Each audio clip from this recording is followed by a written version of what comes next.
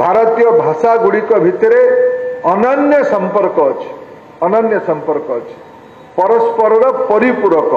ଆଜି ରାଷ୍ଟ୍ରୀୟ ଶିକ୍ଷା ନୀତି ଦୁଇ ହଜାର କୋଡ଼ିଏ ଲାଗୁ ହେଲା ବେଳେ ପ୍ରଧାନମନ୍ତ୍ରୀ ଆଦେଶ ଦେଲେ ସବୁଠୁ ମହତ୍ୱ ଦିଅ ଭାରତୀୟ ଭାଷାକୁ। ଏ ପର୍ଯ୍ୟନ୍ତ ଭାଷାକୁ ଗୋଟିଏ ବିଷୟ କରିକି ସବଜେକ୍ଟ କରିକି ପଢ଼ା ହେଉଥିଲା କିନ୍ତୁ ରାଷ୍ଟ୍ରୀୟ ଶିକ୍ଷା ନୀତି ଜୋର ଦେଇଛି। ବିଷୟ କୋଉଟା ବି ହଉ। କିନ୍ତୁ ପଢ଼େଇବାର ମାଧ୍ୟମ ଭାରତୀୟ ଭାଷା ହଉ ମାତୃଭାଷା ହଉ। ଆଜି ଆନ୍ତର୍ଜାତୀୟ ମାତୃଭାଷା ଦିବସ। ଏହି ଅବସରରେ ସୋସିଆଲ ମିଡିଆ ଏକ୍ସରେ ଶୁଭକାମନା ଜଣାଇଛନ୍ତି କେନ୍ଦ୍ର ଶିକ୍ଷାମନ୍ତ୍ରୀ ଧର୍ମେନ୍ଦ୍ର ଲେଖିଛନ୍ତି ଆମ ଭାଷା ହିଁ ଆମ ପରିଚୟ।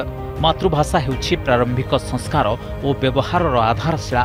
ଏଥିପାଇଁ ଜାତୀୟ ଶିକ୍ଷାନୀତି ଦୁଇ ହଜାର କୋଡ଼ିଏରେ ପ୍ରାଥମିକ ଶିକ୍ଷାରେ ଭାରତୀୟ ଭାଷାରେ ଶିକ୍ଷାକୁ ଦିଆଯାଉଛି ଗୁରୁତ୍ୱ। ନିଜ ନିଜ ମାତୃଭାଷାକୁ ନେଇ ଗର୍ବ କରିବାକୁ ଦେଶବାସୀଙ୍କୁ ଆହ୍ୱାନ କରିଛନ୍ତି କେନ୍ଦ୍ର ଶିକ୍ଷାମନ୍ତ୍ରୀ। ଗୋଟିଏ ପଟେ ଭାରତୀୟ ଭାଷାର ବହୁଳ ବ୍ୟବହାର ପ୍ରତି ମୋଦି ସରକାରଙ୍କ ଗୁରୁତ୍ୱ ଓ ସେ ଦିଗରେ ବହୁବିଧ ପଦକ୍ଷେପ ଅନ୍ୟପଟେ ଆମ ରାଜ୍ୟରେ ଅବହେଳିତ ଓଡ଼ିଆ ଭାଷା। ଉଣେଇଶହ ଛତିଶ ମସିହାରେ ଭାଷା ଭିତ୍ତିରେ ପ୍ରଥମ ସ୍ୱତନ୍ତ୍ର ରାଜ୍ୟ ଗଠନ ହୋଇଥିଲା ଓଡ଼ିଶା କିନ୍ତୁ ସରକାରୀ ସ୍ତରରେ ଲଗାତାର ଅବହେଳା ଯୋଗୁଁ ଏବେ ସଙ୍କଟରେ ଓଡ଼ିଆ ଭାଷା। ଉଣେଇଶହ ସଇଁତିରିଶ ମସିହାରେ ଓଡ଼ିଶା ସରକାର ନିଷ୍ପତ୍ତି ନେଇଥିଲେ। ଏକ ବ୍ୟାକରଣ ସଂସ୍କାର କମିଟି ଗଠନ ହୋଇଥିଲା ପଣ୍ଡିତ ନୀଳକଣ୍ଠ ଦାସଙ୍କ ଅଧ୍ୟକ୍ଷତାରେ। ସଇଁତିରିଶ ବର୍ଷରୁ ଏପର୍ଯ୍ୟନ୍ତ ମଧ୍ୟ ତା କାର୍ଯ୍ୟକାରୀ ହୋଇପାରିଲାନି।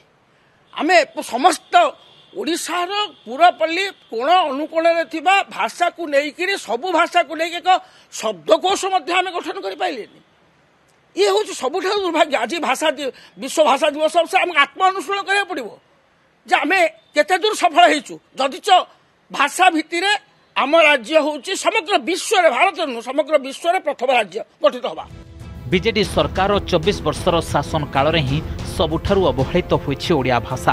ଉପାନ୍ତରେ ତ ଓଡ଼ିଆ ଭାଷାର ମୃତପ୍ରାୟ ସ୍ଥିତି। ଶିକ୍ଷାନୁଷ୍ଠାନରେ ମାତୃଭାଷାରେ ପଢ଼ାଇବା ପାଇଁ ଉପଯୁକ୍ତ ଶିକ୍ଷାଗତ ଯୋଗ୍ୟତା ଥିବା ଓଡ଼ିଆ ଶିକ୍ଷକ ନାହାନ୍ତି।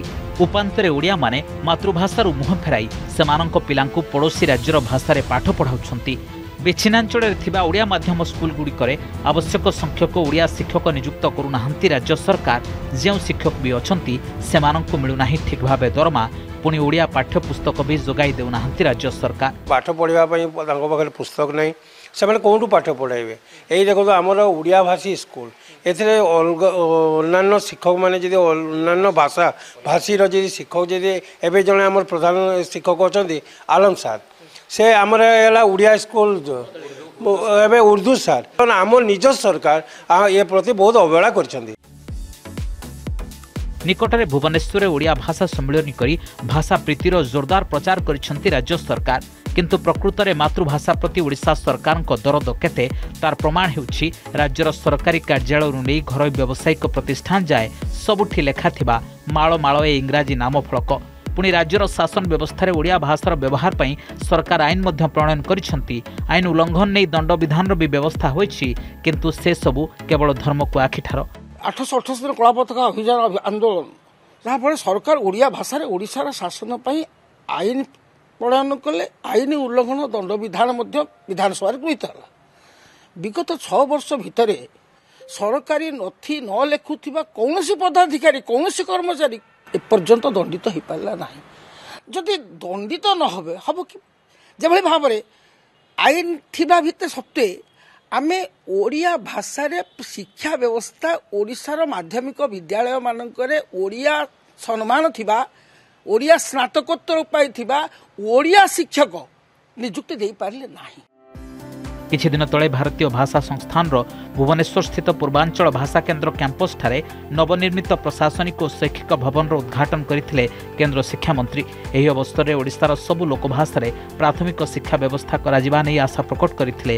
କହିଥିଲେ ମାତୃଭାଷାରେ ଉତ୍କର୍ଷ ହାସଲ କରି ପୂର୍ବାଞ୍ଚଳ ଭାଷା କେନ୍ଦ୍ରରୁ ମଧୁବାବୁ ଜଗନ୍ନାଥ ଦାସ ବଳରାମ ଦାସଙ୍କ ଭଳି ବାଗ୍ମୀଙ୍କର ସୃଷ୍ଟି ହେଉ। ଓଡ଼ିଶାରେ କୁହାଯାଉଥିବା ଯେତେ ଲୋକ ଭାଷା ଯେତେ ଲୋକ ଭାଷା ଷାଠିଏରୁ ଅଧିକା ଜନଜାତି କହୁଥିବା ଭାଷା ଅଛି। ଯେ ପର୍ଯ୍ୟନ୍ତ ପିଲାଟି ଯୋଉ ଭାଷାରେ ସିଏ ପ୍ରଥମ ଶବ୍ଦ ଶୁଣିଲା ଯୋଉ ଭାଷାରେ ସିଏ ପ୍ରଥମ ଶବ୍ଦ କହିଲା ସେ ଭାଷାରେ ଯଦି ପଞ୍ଚମ କ୍ଲାସ ପର୍ଯ୍ୟନ୍ତ ଓଡ଼ିଶାରେ ରହୁଥିବା ଲୋକମାନେ ବଙ୍ଗାଲରେ ରହୁଥିବା ଲୋକମାନେ ତାଙ୍କର ନିଜ ଭାଷାରେ ପ୍ରାରମ୍ଭିକ ଅବସ୍ଥାରେ ପଢ଼ିବେ ଆଉ ଲେଖିବେ ତେବେ ତାଙ୍କର ଅନୁସନ୍ଧାନ ତର୍କ ସମୀକ୍ଷାର ଶକ୍ତି ବଢ଼ିବ। ତା ଦ୍ୱାରା ଏଠି ମଧୁବାବୁ ମାନେ ତିଆରି ହେବେ। ତାଦ୍ୱାରା ଏଠି ସାରଳା ଦାସ ମାନେ ତିଆରି ହେବେ ମୋର ଓଡ଼ିଆ ପିଲା ପଠାଣି ସାମନ୍ତ ହେଇକି ବିଶ୍ୱରେ ନାଁ କରିବ ଇଏ ଆକାଂକ୍ଷା ମୋ ଭିତରେ ଅଛି ଅପେକ୍ଷା ମୋ ଭିତରେ ଅଛି ତେଣୁ ଇଏ ଭାଷା କେନ୍ଦ୍ର ସେଇଭଳିଆ ଏକ ଗବେଷଣା କେନ୍ଦ୍ର ହଉ ବ୍ୟୁରୋ ରିପୋର୍ଟ ଅର୍ଗସ୍ ନ୍ୟୁଜ୍